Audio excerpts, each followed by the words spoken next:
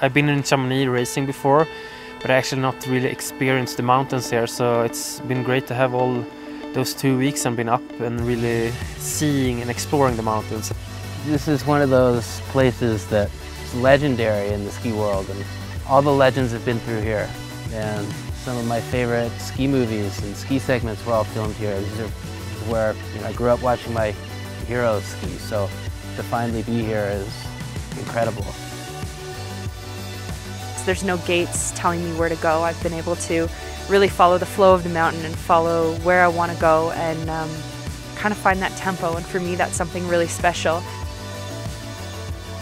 Chamonix is so special uh, when you're down in the village and you have all these big mountain walls just racing from the village. You could really feel the mountains around you and when we've been up as well it's a bit special and it's a bit steeper what I'm used to so it's a really cool feeling to be able to yeah, explore it and uh, ski it.